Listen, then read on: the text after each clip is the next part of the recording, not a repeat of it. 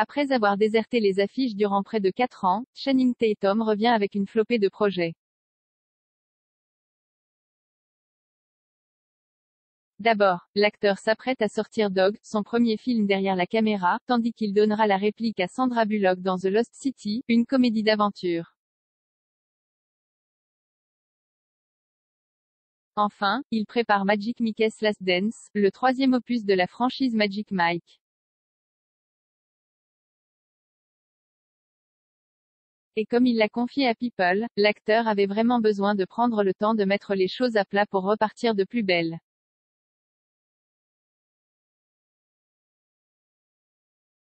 Je n'ai pas de grands plans et je crois que je n'en ai jamais eu. Avant de prendre un peu de vacances, j'avais un rythme intenable.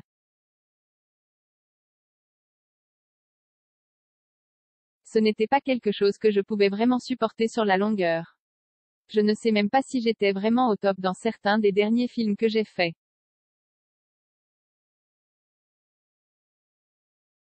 Je voulais m'assurer que j'avais encore quelque chose à offrir et que je ne le faisais pas juste pour avoir une carrière. sans prise de tête et l'une des choses qui lui tenait vraiment à cœur, c'était bien de se lancer dans la réalisation avec Reed Carolin, son éternel acolyte d'écriture et de production.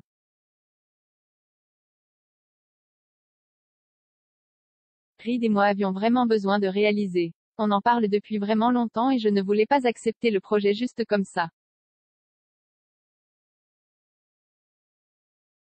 Je voulais qu'on réalise et qu'on voit comment ça se passait, a continué Channing Tatum, avant de confier qu'il prenait un peu les choses comme elles venaient désormais. Après j'ai pris un autre boulot. J'ai travaillé avec Sandra Bullock et c'était très amusant.